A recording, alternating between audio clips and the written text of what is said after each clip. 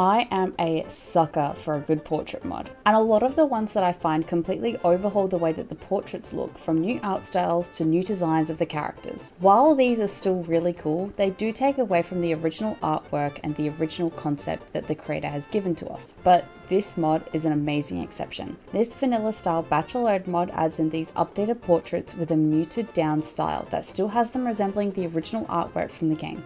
It changes up hairstyles and colours and outfits to make them look a bit more realistic while still sticking to the Stardew roots.